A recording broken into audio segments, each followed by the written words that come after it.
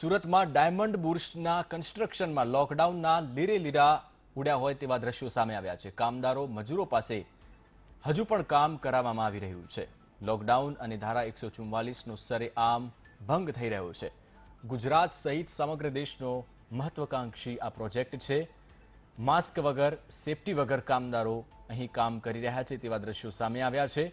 કોરોનાની કોઈ જ ગંભીરતા અહીં જોવા નથી મળી રહી. એક તરફ સમગ્ર દેશના લોકોને ઘરમાં રહેવાની અપીલ કરવામાં આવી રહી છે, ત્યાં બીજી તરફ ખુલ્લેઆમ નિયમનો ભંગ થઈ રહ્યો છે.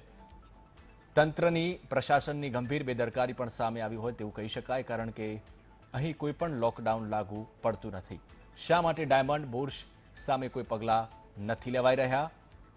બીજી તરફ કોની પરવાનગીથી આ કામ ચાલી રહ્યું છે? અનેક સવાલો ઊભા થાય છે. તો કામદારો અને મજૂરો હજુ પણ કામ કરી રહ્યા છે આ ફેક્ટરીમાં જ્યારે સમગ્ર ગુજરાતમાં, સમગ્ર દેશમાં લોકડાઉન છે, પરંતુ અહીં લોકડાઉન જેવી સ્થિતિ નથી જોવા મળી રહી. એક સંવાદદાતા આનંદ પટણી અમારી સાથે સુરતથી લાઈવ જોડાયા છે. આનંદ, એક તરફ સમગ્ર દેશમાં લોકડાઉનની સ્થિતિ છે, પરંતુ અહીં તો અલગ જ દ્રશ્યો જોવા મળી રહ્યા છે. શું કહેશો આપ?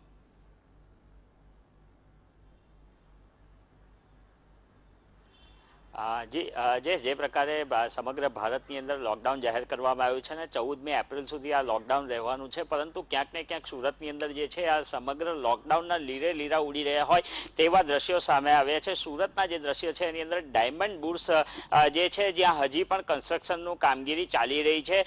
સરકારી પ્રશાસનને જોવાની ફુરસદ નથી કે આ જગ્યા ઉપર કઈ રીતે કામગીરી ચાલી રહી છે. મહત્વની વસ્તુ છે કે ત્યાં કામદારો કામ કરતા દેખાય છે. સમગ્ર શહેરની અંદર સાથે સાથે રાજ્યની અંદર પણ જ્યારે એકસો ની કલમો લાગુ હોય છે, ત્યારે આ પ્રકારે લોકો ભેગા થતા હોય એ ના થવું જોઈએ. પરંતુ ત્યાં ડાયમંડ બુર્સ ઉપર લોકો ભેગા પણ થતા હોય છે, મજૂરો પાસે કામ કરાવવામાં આવી રહ્યું છે અને મહત્વની વાત એ છે કે આ તમામ મજૂરો જે કામ કરી રહ્યા છે, મજૂરો પાસે કોઈ પણ પ્રકારના સેફટીના સાધનો નથી. આ પ્રકારની જે કામગીરી ચાલી રહી છે, આટલા મોટા પાયે કામગીરી ચાલી રહી છે અને તંત્ર ત્યારે બેખબર હોય એ માનવામાં નથી આવતું. કોના ઇશારાથી આ કામગીરી હાલ ચાલી રહી છે એ પણ એક મોટો તપાસનો વિષય બન્યો છે. સાથે સાથે વાત કરવામાં આવે તો સુરતની અંદર ગઈકાલે પણ જે છે એપીએમસી માર્કેટના જે પ્રકારના વીડિયો સામે આવ્યા હતા, ત્યાં પણ એકસો ચુમ્માલીસની કલમ જે છે એના લીરે લીરા ઉડતા દેખાયા હતા એટલે સુરતની આ બીજી ઘટના આવી કહી શકાય કે જ્યાં પ્રશાસનનું ધ્યાન નથી આમ રસ્તા ઉપર જો કોઈ વ્યક્તિ પોતાની મેડિકલ ઇમરજન્સી માટે નીકળતો હોય તો શાકભાજી દૂધ કે ફળ ખરીદવા માટે નીકળતો હોય તો તે વ્યક્તિને પોલીસ દ્વારા હેરાન કરવામાં આવતી હોય છે. પરંતુ આ પ્રકારે મોટે પાયે જે કામગીરી થતી હોય છે સમગ્ર લોકોને જ્યારે દેખાતું હોય છે ત્યારે પ્રશાસનની આંખમાં નથી આવતું. એક મોટી કઠણાઈ પ્રશાસનની કહી શકાય. જી. આનંદ, સૌથી મોટો સવાલ એ છે કે આ ફેક્ટરી કોની માલિકીની છે, કેવા પ્રકારની કામગીરી થઈ રહી છે, શા માટે આ ફેક્ટરીના માલિકાનો અમલ નથી કરી રહ્યા? કોની રહેમ નજર હેઠળ આ બધું ચાલી રહ્યું છે?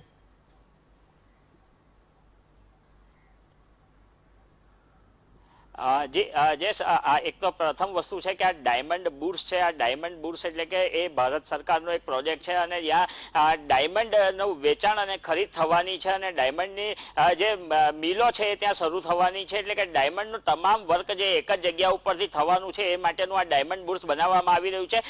ભારત સરકારનો એક મહત્વકાંક્ષી પ્રોજેક્ટ કહી શકાય કારણ કે મુંબઈ બાદ જે છે ડાયમંડ બુર્સ સુરતની અંદર બની રહ્યું છે કારણ કે સુરતની ઓળખ જ છે ડાયમંડ સિટી અને જ્યારે સુરતને ડાયમંડ સિટી તરીકે ઓળખવામાં આવતી ત્યારે સ્વાભાવિકપણે આ પ્રકારની કામગીરી ત્યાં થતી હોય છે. પરંતુ જ્યારે અત્યારે સરકાર દ્વારા કહેવામાં આવી રહ્યું છે કે સોશિયલ ડિસ્ટન્સિંગ જાળવવાનું હોય છે જે ડાયમંડ બુર્સના પદાધિકારીઓ છે, એમની પણ નજરે નથી ચડ્યું. હજી સુધી કે કામગીરી કરવામાં આવી છે. સુરત શહેર પોલીસ પણ અંજાન બની હોય એવું લાગી રહ્યું છે. સુરત કલેક્ટર પણ હજી સુધી ત્યાં પહોંચી શક્યા નથી એવું લાગી રહ્યું છે. કારણ કે આ પ્રકારની જે કામગીરી કરવામાં આવે છે, એ ડાયમંડ બુર્સ ભારત સરકારના પ્રોજેક્ટ અંતર્ગત આવતું હોવાને કારણે ત્યાં કામગીરી ચાલુ છે. પરંતુ આ કામગીરી તાકીદે બંધ થવી જોઈએ. એ પ્રકારના સવાલો જ્યારે કલેક્ટરને પૂછવામાં આવે ત્યારે કલેક્ટર તરફથી એનો કોઈ પણ પ્રત્યુત્તર મળ્યો નથી. શા માટે આ કામગીરી અત્યારે પણ ચાલુ છે? એનો પણ પ્રત્યુત્તર હજી સુધી કોઈને મળ્યો નથી. જી. આનંદ, ખાસ કરીને ત્યાં કયા અધિકારીઓના અંડરમાં કામગીરી આવે છે? કોઈ અધિકારીઓ સાથે તમારી વાતચીત થઈ હતી કે કેમ? અથવા તો આ અધિકારીઓ ત્યાં સ્થળ ઉપર હતા કે કેમ?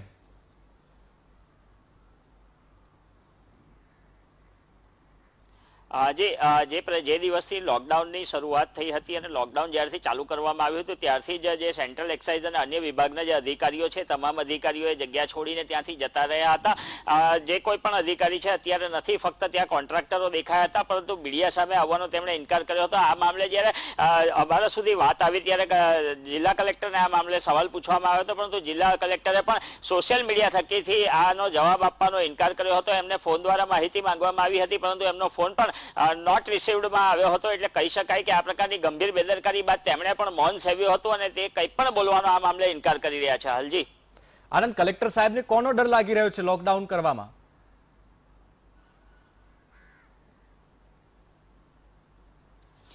કદાચ કહી શકાય જયેશ, કે આ જે સમગ્ર પ્રોજેક્ટ છે, ભારત સરકારનો પ્રોજેક્ટ છે અને ભારત સરકારનો મહત્વાકાંક્ષી પ્રોજેક્ટ છે એટલે જે રાજ્યના અધિકારીઓ છે એ લોકોનો સ્વાભાવિકપણે ડર હોઈ શકે, પરંતુ કલેક્ટરને કોનો ડર છે એ કહેવું અત્યારે મુશ્કેલ છે. પરંતુ કહી શકાય કે જે ભારત સરકારના નિર્માણાધીન પ્રો- પ્રોજેક્ટની અંદર છે એટલે કલેક્ટર પણ હાથ નાખતા કદાચ ગભરાતા હોય એ સ્પષ્ટપણે માની શકાય છે. જી.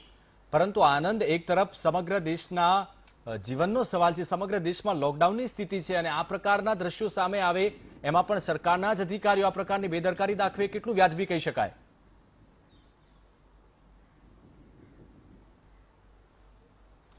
અ, જી કોઈ પણ રીતે આ વસ્તુ વ્યાજબી નથી. જે દિવસે લોકડાઉનની શરૂઆત કરવામાં આવી હતી સમગ્ર દેશની અંદર લોકડાઉનનો અમલ જે છે પછી શરૂ થયો. પરંતુ ગુજરાતના જે શહેરો છે એની અંદર રાજકોટ અમદાવાદ વડોદરા અને ગાંધીનગરને સૌથી પહેલા લોકડાઉન કરવામાં આવ્યા હતા. જ્યારે સુરતની અંદર પહેલો પોઝિટિવ કેસ આવ્યો ત્યારથી જ સુરતને લોકડાઉન કરવાનો નિર્ણય રાજ્ય સરકારે લઈ લીધો હતો. રાજ્ય સરકારના નિર્ણય બાદ તાત્કાલિકપણે આ પ્રકારનું કામ જે છે બંધ થવું જોઈતું હતું. એ કામ હજી સુધી બંધ નથી થયું. સરકારી અધિકારીઓને ફુરસદ નથી. અ, કોઈ પણ સરકારી અધિકારી અત્યારે મીડિયા સામે આવતા ડરી રહ્યો છે કારણ કે શું બોલાઈ જાય અને શું ન બોલાઈ જાય એ પ્રકારની વાતો હોય છે.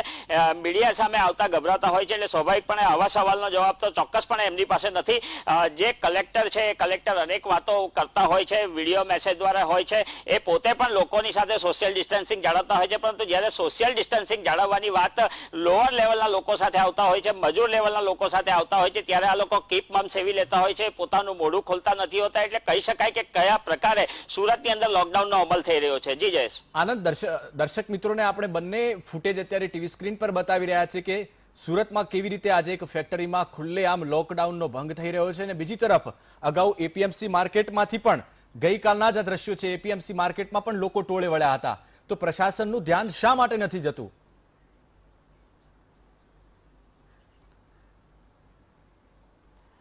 જી જયેશ ગઈકાલે પણ આ પ્રશ્ન વીટીવી દ્વારા સૌથી પહેલા ઉઠાવવામાં આવ્યો હતો. આ અગાઉ પણ ત્રણથી ચાર દિવસ પહેલા વીટીવીએ સર્વપ્રથમ આ દ્રશ્યો બતાવ્યા હતા. એપીએમસી માર્કેટના અને એપીએમસી માર્કેટની અંદર જે પ્રકારે ધાંધલી થઈ રહી છે, જે પ્રકારે હજારો લોકો જે છે એ ભેગા થઈ રહ્યા છે, ટોળે વળી રહ્યા છે.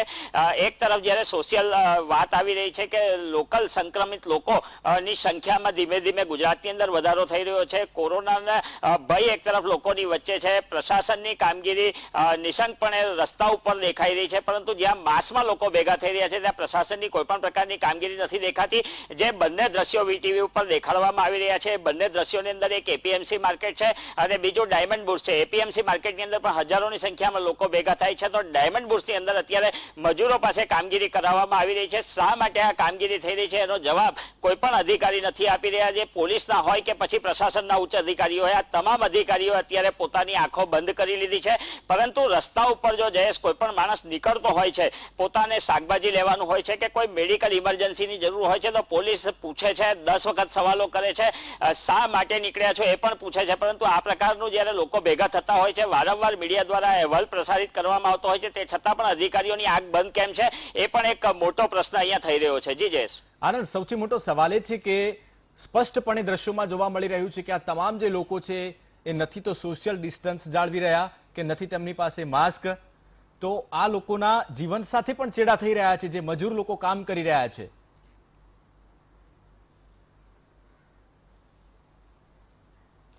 હાજી જયેશ મેં પહેલા જ કીધું એમ કે આ તમામ લોકો જે છે, ડાયમંડ બુર્સની અંદર જે પ્રકારે કામગીરી કરી રહ્યા છે, આ તમામ લોકો એકસો ચુમ્માલીસની કલમનો ભંગ કરી રહ્યા છે, સાથે સાથે એ જ્યારે કામગીરી કરી રહ્યા છે, તેમને કોઈ પણ પ્રકારની સુવિધા આપવામાં નથી આવી, એમના હાથની અંદર મોજા નથી મોઢા ઉપર માસ્ક નથી દેખાતું, એકદમ નજીક નજીક ઊભા રહીને કામગીરી કરી રહ્યા છે. તમામ બાબતો જે છે, એ બાબતો તંત્ર ધ્યાને કેમ નથી આવી, એક મોટો પ્રશ્ન અહીંયા ઊભો થઈ રહ્યો છે, કારણ કે તંત્ર જે છે કામગીરી કરવા માટે હોય છે, કામગીરી દરેક લોકો સુધી પહોંચે એ પ્રકારની કામગીરી કરવી જોઈએ. પરંતુ આ બંને દ્રશ્યોની અંદર જો જોવા જઈએ તો કોઈ પણ પ્રકારનું સોશિયલ ડિસ્ટન્સિંગ નથી. લોકો ને સમજમાં નથી આવતું કે તંત્ર એમને સમજાવવા નથી માંગતું. એ એક મોટો યક્ષ પ્રશ્ન અહીંયા થઈ રહ્યો છે. કલેક્ટર દ્વારા જે જાણકારી આપવામાં આવી હતી, તમામ લોકોના કારખાનાઓ બંધ કરવામાં આવ્યા હતા. તમામ સાઇટો બંધ છે. સુરતની અંદર મોટેભાગની વસ્તુઓ લોકડાઉન છે. ત્યારે આ પ્રકારની જે સાઇટ છે, ચાલુ કેમ છે? એના એક મોટો પ્રશ્ન છે અને વીટીવી પણ એ પ્રશ્ન ઉઠાવી રહ્યો છે. આમ તો વીટીવી લોકોને વારે વારે કહી રહ્યું છે કે સોશિયલ ડિસ્ટન્સિંગ જાળવો. ઘરની અંદર રહો. તમામ લોકોને વારે વારે અપીલ કરવામાં આવી રહી છે. પરંતુ સુરતના આ દ્રશ્યો જોઈને ક્યાંક ને ક્યાંક એવું લાગી રહ્યું છે કે સુરતનું તંત્ર જે છે આ પ્રકારની કામગીરી કરવામાં ક્યાંક ને ક્યાંક ઊણું ઉતર્યું છે. જી જયેશ. બિલકુલ. આનંદ અમારી સાથે જોડાવા માટે આપનો આભાર. તો દ્રશ્યો આપ ટીવી સ્ક્રીન પર જોઈ રહ્યા છો. સમગ્ર દેશમાં લોકડાઉન છે પરંતુ સુરતમાં ડાયમંડ બુર્સ ફેક્ટરીમાં દ્રશ્યો સામે આવ્યા છે.